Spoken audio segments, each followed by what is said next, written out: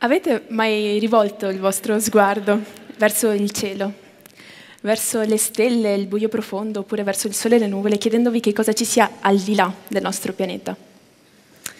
Domande come questa mi hanno sempre affascinata fin da bambina e mi hanno spinta, sebbene il mio percorso di studi non sia sempre stato di tipo scientifico, dato che ho un diploma linguistico e una laurea in clarinetto, mi hanno spinta verso appunto l'ingegneria aerospaziale, me ne hanno fatto innamorare e quindi l'ho poi scelta come percorso di studi. Questo amore per lo spazio è arrivato in particolar modo al termine delle scuole superiori, in quel momento della vita di una persona in cui si deve scegliere che cosa fare del proprio futuro. E assieme ad esso è arrivata la consapevolezza di voler dedicare la mia vita a qualcosa di particolare, di affascinante, in grado di mettermi alla prova e di far emergere le mie capacità. Già al termine della laurea triennale sono riuscita ad entrare a far parte di un progetto che ha dato una svolta importantissima alla mia vita, ovvero STAR. Assieme ad altri quattro studenti dell'Università di Padova siamo infatti riusciti ad ideare un meccanismo per lo svolgimento ed il riavvolgimento di un filo nello spazio. E questo meccanismo ha numerosissime applicazioni. Ne vediamo però assieme una, forse la più affascinante e la più urgente, che è il problema dei detriti spaziali. La ricerca in campo spaziale ha portato negli anni a delle conseguenze che sono spesso state ignorate, ma che, per le quali la nostra generazione rischia di dover pagare un prezzo decisamente molto alto. Non tutti sanno che sopra le nostre teste orbita una quantità elevatissima di oggetti. Parliamo di serbatoi per il propellente vuoti, di satelliti non più funzionanti e di componenti minori. Per tradurre il tutto con un'immagine, comune ed attuali, si è passati in pochi anni ad avere un disabitato e idilliaco paesaggio naturale ad una vera e propria metropoli di detriti.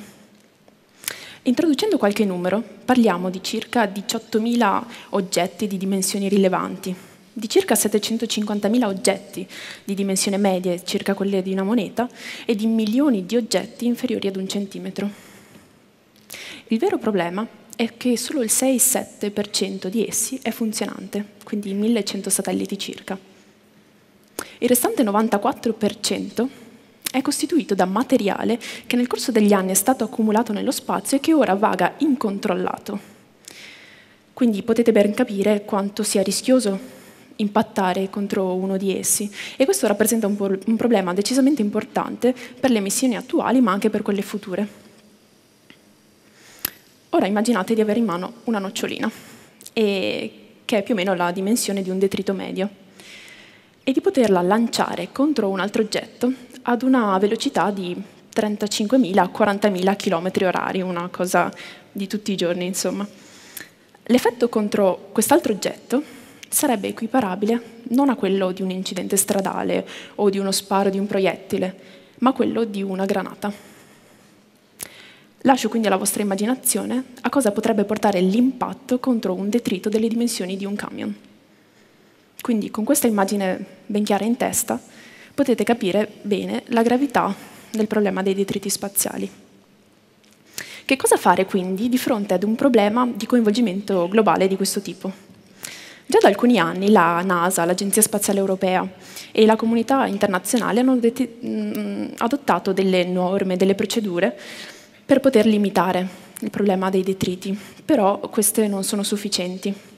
Non sono sufficienti senza la rimozione attiva dei detriti e quindi parliamo dell'intervento dell'uomo. Il vero problema è come fare questa rimozione attiva. Infatti ogni meccanismo deve avere delle caratteristiche particolari. Eh, deve essere tecnologicamente costruibile, economicamente appetibile e, cosa più importante, deve essere un buon compromesso dal punto di vista politico a livello internazionale. Superate queste tre prove, queste tre caratteristiche, deve, non deve costituire un rischio per poi la popolazione a terra. Quindi capite bene quanto sia complesso da affrontare questo problema. Nonostante questo sono state proposte diverse soluzioni negli anni e parliamo ad esempio di reti o di vele, ma anche soluzioni un po' più esotiche. In questo contesto si inserisce il progetto di cui faccio parte, quindi STAR, che è stato ideato da cinque studenti dell'Università di Padova e che potete vedere alle mie spalle e che ora vi presento. A partire dalla vostra sinistra trovate Leonardo Pellegrina, poi ci sono Mattia Pezzato e al centro il nostro team leader Gilberto Grassi, quindi Alvise Rossi e poi io. Come accennato, STAR è un meccanismo per lo srotolamento e l'avvolgimento di un filo nello spazio. Questo meccanismo va poi inserito all'interno di un satellite più grande, chiamato satellite madre, che grazie a questo filo può andare ad agganciare questo detrito d'oggetto e per poi riportarlo a terra oppure lanciarlo diciamo, verso l'infinito ed oltre.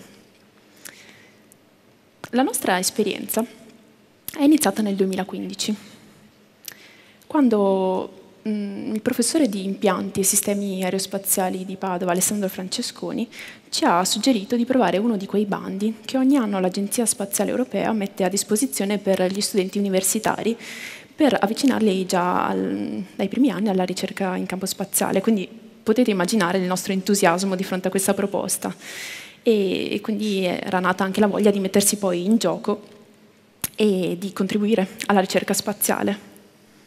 E dopo circa un anno di studi e anche qualche fallimento, nel 2016 abbiamo avuto la straordinaria notizia di essere stati selezionati proprio per uno di questi bandi, il bando Drop Your Thesis, che permette di testare il proprio esperimento nella torre di caduta di Brema, che vedete alle mie spalle, e che è una struttura una delle strutture che si, si ha sulla Terra per simulare la condizione di assenza di peso dello spazio. Come vedete, si tratta di un'enorme torre che viene svuotata dell'aria e all'interno della quale viene lanciata una capsula contenente l'esperimento, con due modalità.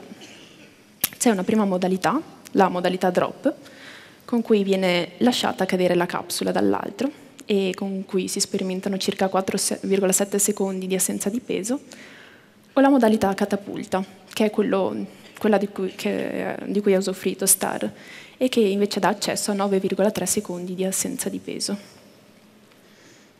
Tornando alla nostra esperienza, mm, noi al momento della selezione, ovviamente dopo un primo periodo di totale euforia, ci siamo resi conto di aver pochissimo tempo per portare quella che nel momento della selezione era un'idea geniale ma completamente astratta a qualcosa poi di concreto.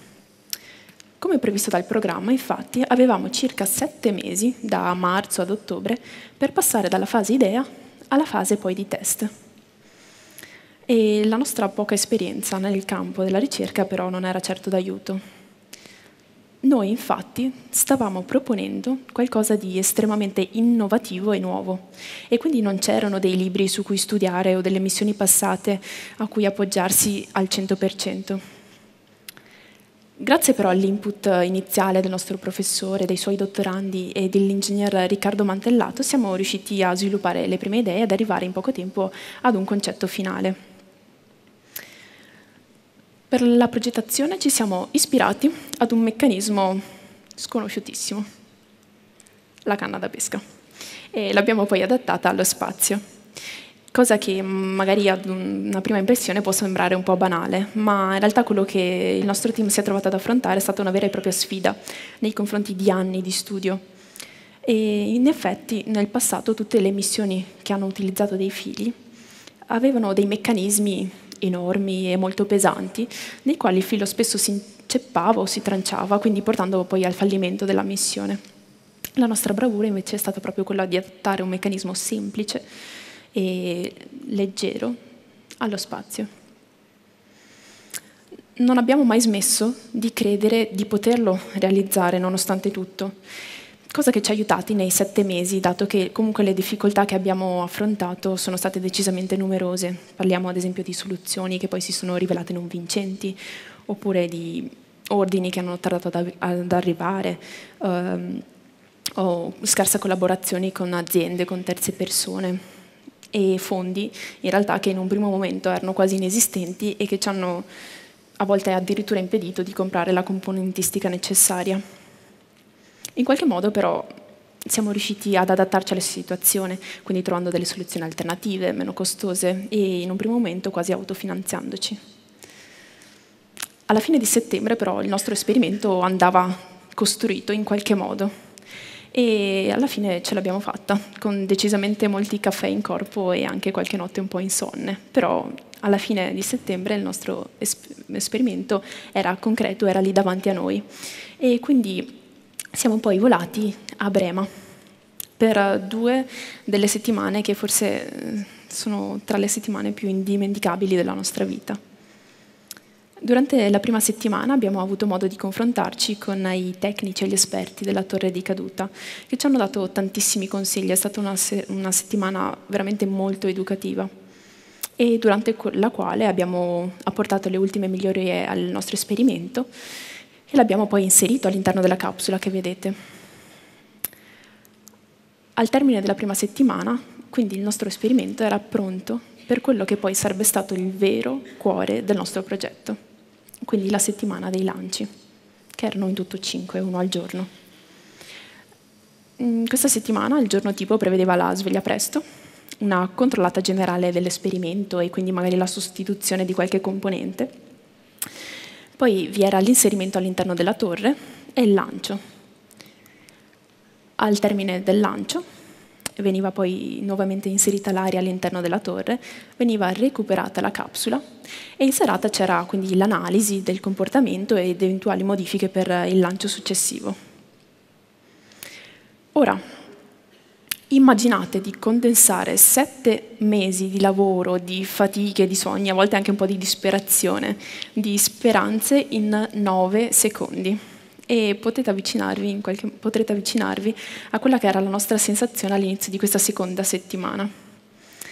E quel bottone rosso però ormai andava premuto e dare il via quindi alla sequenza di lancio che avrebbe svelato se quei sette mesi poi avrebbero portato a dei frutti.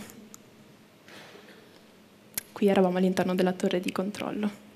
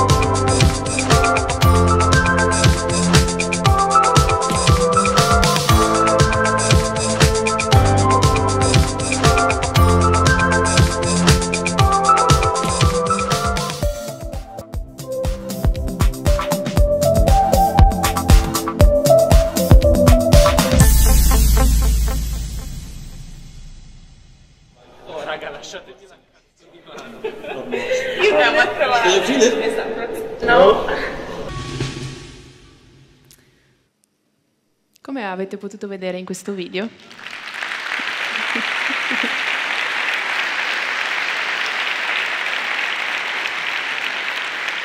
Grazie.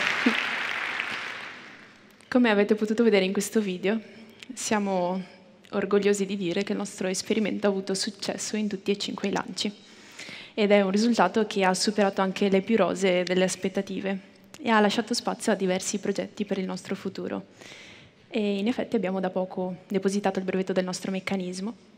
C'è spazio per nuovi studi e approfondimenti e ci saranno poi delle pubblicazioni e stiamo anche raccogliendo dei fondi per partecipare a delle conferenze nazionali ed internazionali per i quali ci hanno già selezionati. A conclusione di tutto, ci tengo a sottolineare quanto ognuno di noi abbia speso energie e sogni per questo progetto, sacrificando tantissime ore di lavoro e di studio e di divertimento, cosa che non tutti i 23 anni al giorno d'oggi sono disposti a fare. Siamo partiti da un'idea completamente astratta su un foglio, senza fondi, senza conoscere veramente nel dettaglio l'oggetto di ciò che stavamo creando e senza conoscerci nemmeno benissimo tra di noi, per arrivare poi ad essere un team unito e con un sogno comune, E quindi siamo fieri di aver dimostrato che con l'impegno, la determinazione e la passione i risultati prima o poi arrivino. Noi non sappiamo se il nostro meccanismo verrà mai considerato da qualche agenzia spaziale o se volerà.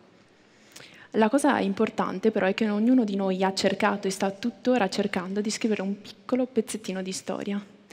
E chi lo sa, magari in un futuro non troppo lontano potremo dire di aver contribuito a far ritornare lo spazio un posto libero e incontaminato come tutti noi ce lo immaginiamo. Grazie.